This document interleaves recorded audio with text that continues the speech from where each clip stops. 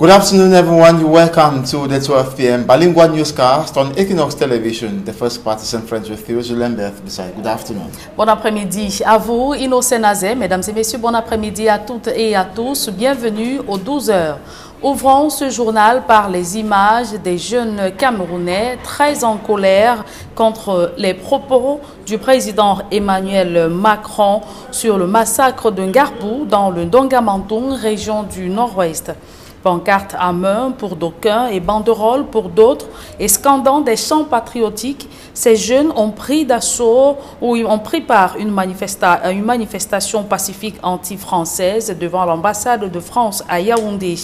Une manifestation qui intervient 48 heures après l'échange du président français Emmanuel Macron avec un activiste au Salon de l'agriculture en France.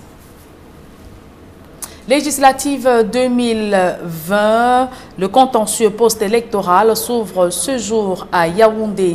40 affaires des partis politiques ayant pris part au double scrutin du 9 février sont inscrites au greffe du Conseil constitutionnel. Nous y reviendrons dans nos prochaines tranches d'informations.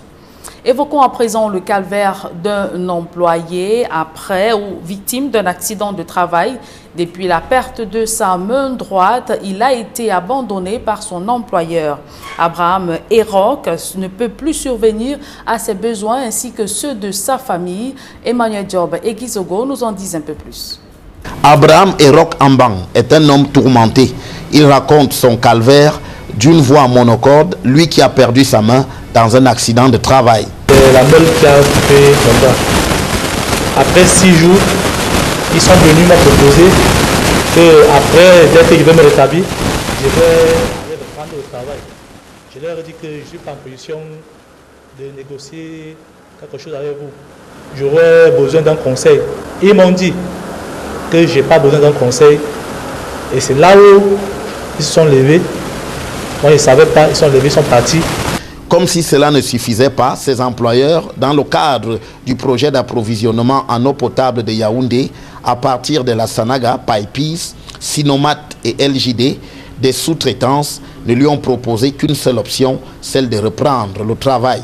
La proposition, c'est que je dois aller reprendre le travail, que j'ai un numéro à la CMPS, la CMPS qui doit me payer, et qu'ils n'ont rien à, à gérer avec moi. Ils n'ont rien à me donner. Donc, ils ont six avocats. Devant son refus, il va se retrouver abandonné à son sort à l'hôpital, d'où il sera mis à la porte sans médicaments. Depuis lors, la CNPS seule a pris la mesure de cette affaire en regrettant néanmoins les incongruités contenues dans ce dossier. La CNPS m'a déclaré que je n'ai que 8 mois de cotisation. Ils vont m'indemniser plus tôt, ce qui revient de mes droits. Et ils savent que dans un chantier, dans un projet, il y a une assurance. Et ils sont une assurance du personnel des travailleurs. Dans un chantier, il y a une assurance, donc l'assurance qui doit faire le travail. Equinox Télévision a joint l'entreprise LJD pour un rendez-vous auquel elle n'a donné aucune suite, tout comme le chef du projet PyPeace. Une attitude reproduite par le délégué du travail du département de la Léquier selon l'accidenté j'ai rapproché le délégué du travail de mon atelier. Il m'a fait comprendre que le problème des Chinois, c'est un problème gouvernemental et que le chef d'État, c'est leur parrain. C'est un dossier que lui, il ne sait pas comment il va faire. Abandonné à son sort, Abraham et Roch Ambang parlent de conditions de vie désormais difficiles pour lui et les siens. Ça fait cinq mois aujourd'hui. Mes enfants ne vont pas à l'école. Ma femme devait soutenir. Elle a arrêté tout le monde est à la maison. Je vis comment? Je ne parviens pas à manger rien. Ce technicien qui ne peut plus exercer son métier illustre le sort des travailleurs camerounais dans les chantiers, vantés pourtant à grand renfort d'annonces par les autorités publiques. Et c'est une question que très peu de travailleurs abordent durant le déroulement de leur carrière. Comment préparer sa retraite? Voilà la problématique à laquelle sont confrontés de nombreux travailleurs à la retraite. Et c'est pour mieux édifier les uns et les autres que des experts en la matière viennent de tenir une conférence dans la ville de Douala. Claude Quoi et Gladys Idi. La retraite est très peu abordée par les travailleurs ou toute personne exerçant une activité quelconque. Au Cameroun, l'âge de départ à la retraite diffère selon que l'on soit dans un domaine ou dans un autre, entre 55 voire 60 ans. Si nous observons que certains aînés vivent difficilement leur vie de retraite, il est certainement question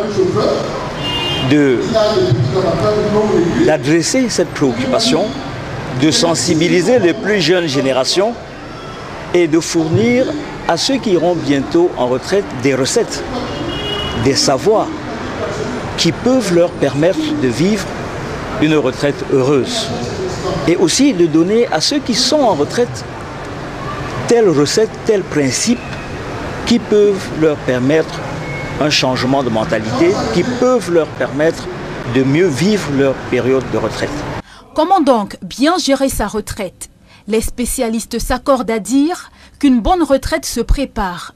Les éléments familiaux, psychologiques doivent entrer en jeu pour permettre aux retraités de profiter de ce moment et éviter qu'il ne se transforme en enfer. Il s'agit d'aller à la retraite pour la réussir et non pour la vivre comme un enfer. L'essentiel ici est de comprendre qu'il y a des situations psychologiques qui favorisent, n'est-ce pas, un départ à la retraite et des situations psychologiques qui, n'est-ce pas, nuisent à une vie épanouie après la retraite. En Afrique, les gens ne se suicident pas, mais ils meurent de l'isolement. Ils meurent de l'absence d'amour familial. Et c'est pour cela que nous exhortons les gens, les jeunes, les familles à mieux encadrer les retraités. Les participants qui ont pris part à cette conférence organisée à la paroisse du cinquantenaire à Douala ont désormais les outils en main pour non seulement être des accompagnateurs des retraités dans leur entourage, mais aussi pour mieux gérer leur retraite le moment venu. Ce thème m'intéresse et j'imagine que ce thème a intéressé plus d'une personne. Il est d'autant plus intéressant que même si nous n'avons pas l'habitude d'y penser, soit par peur, soit par méconnaissance, soit par refus d'arrêter de travailler, aujourd'hui, le groupe d'hommes a fait un pas, un pas pour nous rappeler que il y a une vie après la retraite. À partir du moment où on le sait, prendre des dispositions pendant qu'on travaille encore pour ne pas être surpris par cet arrêt de travail. La retraite reste une phase importante dans la vie du travailleur qui se doit de la préparer minutieusement. Intéressons-nous à présent aux nouvelles technologies de l'information et de la communication. Comment utiliser de manière efficace les réseaux sociaux? À quelle fréquence doit-on être connecté et pour quelle utilité? Telles sont, entre autres, quelques questions auxquelles les élèves du lycée Dios ont obtenu réponse au cours d'une causerie éducative organisée au sein de leur établissement par leurs aînés. Kate Diara et Innocent Bega y ont pris part. Les élèves du lycée Dios à l'école de l'impact des réseaux sociaux sur leur cursus académique. À l'époque de la toute-puissance des nouveaux outils de communication sur la société, les adolescents et pré-ados mal informés sont ceux qui souvent le prix fort. Une fille qui a publié, qui a envoyé sa nudité à son petit ami et son petit ami s'est retrouvé en milieu scolaire avec le téléphone et ça a été publié, sa nudité a été publiée. Si au sein de certains établissements scolaires, le règlement intérieur se charge de protéger les élèves en régissant leur fonctionnement, il y en a qui réussissent tout de même l'exploit de passer à travers les mailles du filet en ramenant par exemple au sein de leur établissement des téléphones portables sur lesquels ils focalisent leur attention au détriment de leurs propres cours. Ils sont toujours connectés de temps à autre et ce qui nous, ce qui nous empêche à tous de, vraiment de réussir nos différents examens. On constate qu'il y a beaucoup d'enfants qui viennent à l'école avec des téléphones, des appareils électroniques qui n'ont pas vraiment leur place dans ce milieu. Parce qu'ici, tout ce qu'on a besoin, c'est des enfants qui veulent travailler, qui veulent apprendre et avancer dans leur avenir. Pour corriger cet ordre des choses, les anciens élèves du lycée Jos, génération 1987, ont organisé une rencontre au sein de leur établissement en vue de sensibiliser leurs cadets le temps d'une journée sur la mauvaise utilisation des réseaux sociaux et donc leur impact sur leur vie. Cette tradition constitue en réalité à dire merci à ce lycée qui nous a permis d'être ce que nous sommes aujourd'hui.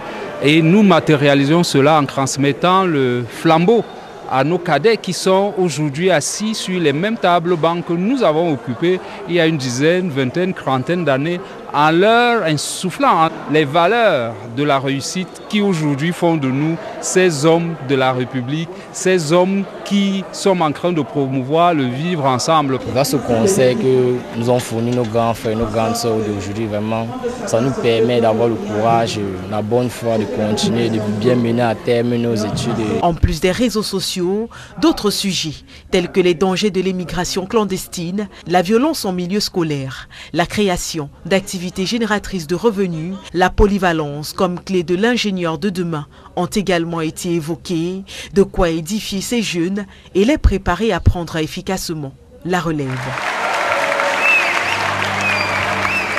C'est l'un des plus grands lacs que compte le Cameroun. Le lac Ossa, situé dans le département de la Sanaga maritime, est aujourd'hui en voie de disparition. Réputé pour son attraction touristique, le lac Ossa est aujourd'hui envahi par des algues qui freinent la pêche et autres activités. Plus de détails dans ce reportage de Ekoka Lobé, Innocent Bega et Kedjara. Tourne à présent vers le gouvernement pour un appel à l'aide. Surtout à nous éradiquer cette herbe, qu'elle disparaisse de manière définitive. Parce que nous ici, nous n'avons pas une eau fiable. Mais tout ce que nous utilisons ici à l'heure actuelle est impropre à la consommation humaine. Même les fourrages peuvent quand même nous ramener. Si ça ne va pas demain, après-demain, pour se laver même. Vous voyez, même pour se laver, il faut euh, euh, remuer. Euh, l'herbe, c'est même, il y a même les démangeaisons ça, partout. Même si vous vous baignez sur ça, l'eau est polluée complètement, ça je vous le dis. Il faut dire que pour tenter de se débarrasser de la plante, ils avaient déjà entrepris de l'arracher mécaniquement, une opération vaine, car plusieurs semaines plus tard, la plante a repoussé, plus majestueuse, plus imposante. Il est désormais question de penser à d'autres méthodes. Les responsables de l'ONG incriminée que nous avons tenté d'avoir au cours de ce reportage se sont refusés à toute interview, fermons alors les portes d'une potentielle explication.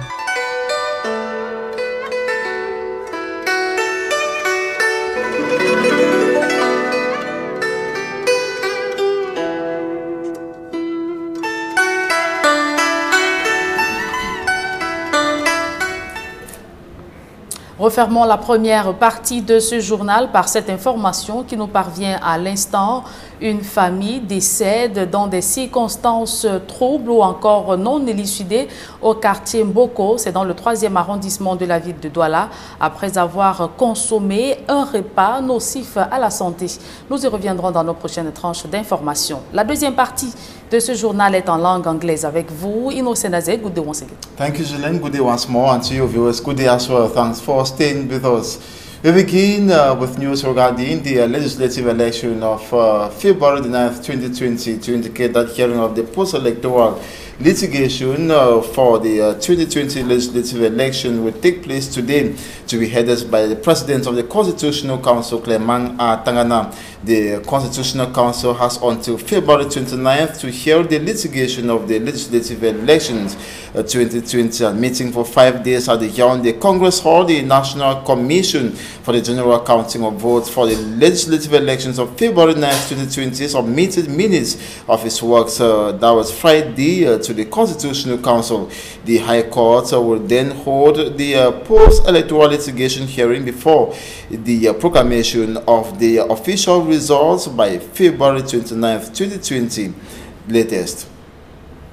And this February 24, 2020 uh, began in the nation's political capital with protests in front of the uh, French embassy and young Cameroonians who went out in their numbers with the Cameroonian flags and uh, banners with uh, interpellation messages. Some of them uh, read thus, do you harm my future by allowing the financing of terrorism in my country?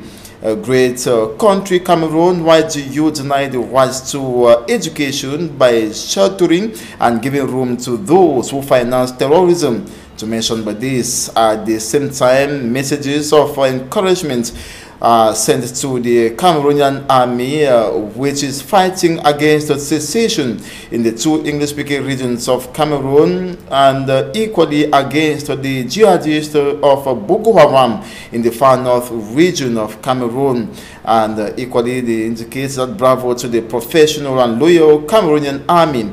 Thus, they are in full support of the defense and security forces, often accused of international uh, organizations of uh, human rights violations. And today's uh, demonstration occurred 48 hours after a declaration by French President Emmanuel Macron in an interview granted on February 22, 2020, on the sidelines of an agricultural show in Paris to a Cameroonian activist against the regime of uh, the uh, head of state Paul Biya. On this occasion, the French president made revelations deemed embarrassing for the uh, Cameroonian government.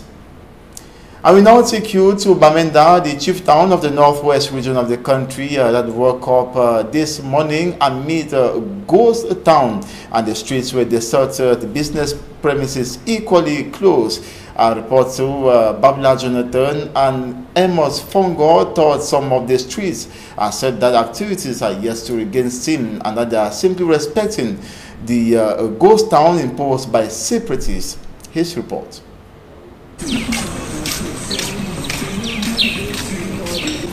Bamenda, chief town of the crisis-hit northwest region of the Republic of Cameroon. The town is very quiet. The night wasn't a quiet one. Some uh, gunshots were heard in some parts of the town and we are at City Chemis roundabout. You can see the whole place is deserted. Just some few uh, motorbikes are circulating and some few persons moving around on foot. Right behind me is the commercial avenue um, is the commercial avenue, one of the busiest uh, avenues in the town of Bamenda. But today, you can see the, the streets are empty, the commercial avenue is empty. There are no bikes circulating there.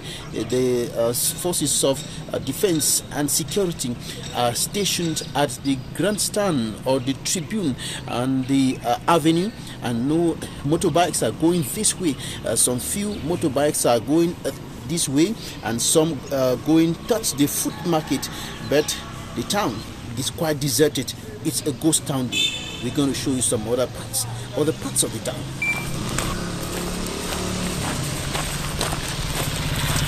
All shops are closed travel agencies close. right behind me is one of the uh, most popular travel agencies in the town of Bamenda. You can see all the uh, vehicles, all the uh, buses are parked there. Nothing is happening. The gate is closed, and this is the way heading to the food market. And we're going to show you just the picture of the food market. We're going to show you the picture of the food market in some few seconds. the Bamenda food market. The place is deserted. Just some few persons uh, are there. No business activities going on in this market. Uh, this is the place that is usually very busy on ordinary days, but today it's a near dead zone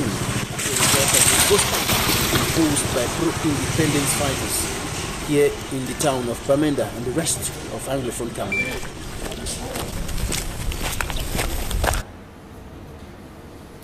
We now talk about uh, common law lawyers uh, in the two English-speaking regions of the country and equally other bar associations in the French-speaking regions of Cameroon who have converged uh, to uh, pay homage as well to all those who were killed in, in Garbo, that is in uh, Tumbo village in the Do subdivision, Dogamantung division of the northwest region of the country on February 4th in 2020 and uh, they're doing so in solidarity, that's uh, in a solidarity uh, football encounter. And uh, they are equally uh, sending calls uh, that they need justice regarding the killings that uh, took place in uh, that was recently and uh, the uh, equally organized uh, football tournaments in solidarity of uh, the uh, women and children who died yeah, in that uh, incident, February 14th, 2020. Take a listen to one of the uh, common law lawyers who was speaking to Equinox Television. We have come to Douala here, not only for this football, but for the whole world to see, especially the United Nations, that we are not really happy. They are quiet. Look at innocent children. Where are they today? And they are every day they are saying that they are the youth of tomorrow. They are the leaders of tomorrow. And now they are extinguishing them.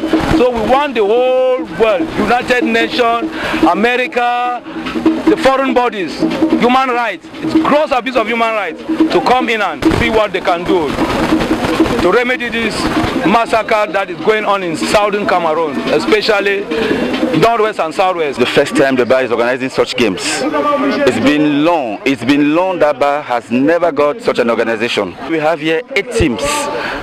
Eight teams coming from Bamenda, that is Noela, from Bafusam, that is AS Barrow West, from Limbe, that is Fakla, and also from from Yaoundé. So teams are coming all the way from the country to take part in the games. This is the first time games are organized by the Bar Council. The architect in chief of those games is the Bar President, Barrister Chakunte Pachisha. He's the one to say, he's the one to whom we have to say thank you. Thank you for having the idea of organizing the game. Thank you for putting in place a National Commission for Sports and Leisure and also an organizing committee for the games. And the Presbyterian Church in Cameroon has equally reacted on the uh, killing in uh, and uh, outrightly condemning the uh, barbaric act. According to the moderator of the uh, Presbyterian Church in Cameroon, the Right Funky Samuel Foba, the killing of women and children was inhumane. The PCC also denounces the ungodly act of burning a PCC house of worship at Bufong, that's in Bali, in the northwest region of Cameroon. The PCC reminds that the military might is not solution to the Anglophone crisis, that an insincere routes to peace half measure, lack of goodwill, a general insensitivity and violence perpetrated by armed separatists, and extremely poor governance and selfish politics continue to fuel the crisis. The PCC moderator questions why it proves impossible to implement all proposals of the major national dialogue. He goes further to say, uh, in this circumstance, the role of external mediators, just like before, has become urgent and expedient to the PCC moderator. There is general failure to protect God's children, which only angers God, thus needs for repentance as a nation. I will now talk uh, about the uh, Mount Cameroon Race of Hope, uh, just to indicate that uh, this year, uh, Godlove uh, Gabsibwin emerged first in the senior uh, male category, and uh, equally first uh, in the female senior category, and they both back home with 10 million francs CFA each. And meantime, 70% of the Race of Hope was run, that's in the Mount Cameroon National Park, and the Ministry of Forestry and Wildlife sees that mount, the mountain is also a tourist destination and is open to any tourist. The resort presents to us some of the features of uh, Mount Cameroon. The imposing Buya Mountain is 4,100 meters above sea level. And this wall-run race baptized the Mount Cameroon Race of Hope takes place in this mountain. Today, the management of the Cameroon Ministry of Forestry and Wildlife, Department of Conservation, is bringing to the public that 70% of this race is being run in the Mount Cameroon National Park. And there are some numbers, what we call ecotourism regulations. What is to be done in the, in the protected area, like the Mount National Park, and what is not to be done. So we are doing our best that minute after the race, we uh, organize what we call keep Mount Cameroon clean. We all go up from the summit, gather the waste, put in a bag. Tani Betika Bison is the head of ecotourism of this Mount Cameroon National Park. He will later take us to the entrance into the forest to better explain the features found in the Mount Cameroon National Park as the athlete climb up and down this chariot of the god. The mountain forest will go up to the level of uh, head one. behind head one, you get the sub-mountain, and when you leave head one, after sub-mountain, you, before you go to the intermediate, the savannah begins. You have the savannah and the grassland up to the level of head two. We have a lot of touristic features. Elephants are here too. Waterfall and a crater lake. Back at the Moliko Stadium, these conservators are explaining to the visitors. Here you have things that you should not do inside the national park. Not to farm inside the national park is a good thing. And as a show of exhibition and pride, the Mount Cameroon National Park this 2020 sponsored an athlete and also gave some prizes both in the male and female categories while thanking those who came to discover the flora and fauna of this mountain, the Boya Mountain. And now I present to you results of match day 24 of the Professional League One Championship played in stadia across the country yesterday. Uh, PWG of Bamendo uh, uh, beat uh, Football Club, that's 1-0. Young Sports Academy equally Trasho Avion 1-0. Columbus to UMS of Loom 0 goal to 1. Uh, Vaikoton Sport of Garwa was uh, beaten by Union of Douala 2-0. Fortuna FC 1, AS Fortuna 0, 18-0, Stade Renard 0, Ekanong 1, Fuvu 4. Uh, Bambotos of Buddha equally separated on a 1-1 tie with Arpegges and Panther that bound to Dragon FC. That is one goal to two. Regarding the classification table, Column tops with 42 points, followed second by PWG of Bamenda with 40 points, and the Cotton Sport of Garwa comes third with 39 points. That's it for this 12 p.m. bilingual newscast on Equinox Television. Thanks so much for watching. Julian Beth Bisay. Have a nice day. Merci. Je vous souhaite également une très belle journée. Innocent Nazé. Mesdames et messieurs, merci d'avoir suivi cette édition bilingue du journal. Je vous remercie. Ah,